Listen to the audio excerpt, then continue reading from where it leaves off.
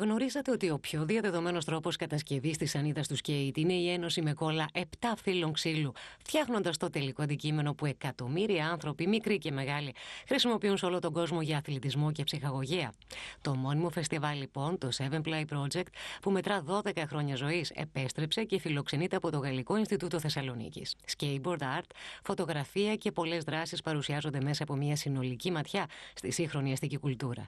Μια γιορτή νέων, μια μεγάλη συνάντηση συνάντηση των φίλων της street κουλτούρας και της μουσικής, μια γιορτή του skateboard. Είναι τρόπο ζωής και είναι κάτι που το αποδέχονται όλες οι ηλικίες και όλοι αρχίζουν, αισθάνονται μια εξοικείωση ε, μπαίνοντας σε αυτή την έκθεση, ε, βλέποντας κάποια πράγματα λίγο πιο περίεργα που δεν θα τα περιμένανε ή συμπεριφορές ε, και τρόπους έκφρασης από καλλιτέχνες που τους έχουν συνηθίσει σε δικές τους δουλειές ε, να συμπεριφέρονται αλλιώς με τα ίδια τους τα έργα. Στο πλαίσιο του φεστιβάλ και στους χώρους του Γαλλικού Ινστιτούτου φιλοξενείται η ομαδική έκθεση με εργατέχνες πάνω στι σανίδες του σκέιτ, που συνοδεύεται από μουσικές εκπλήξεις, ενώ δίνεται η ευκαιρία για γνωριμία με τους καλλιτέχνες. Η έκθεση αποτελεί την καρδιά του φεστιβάλ, με τους καλλιτέχνες να καινοτομούν υλοποιώντας τις ιδέες τους, παρουσιάζοντας καινούρια και μοναδικά αναγεννημένα skateboard. Η δράση αυτή έχει άμεση σχέση και με τη Γαλλία. Πρώτον, γιατί οι σανίδες ε, κατασκευάζονται ε, στην πόλη Μπορντό,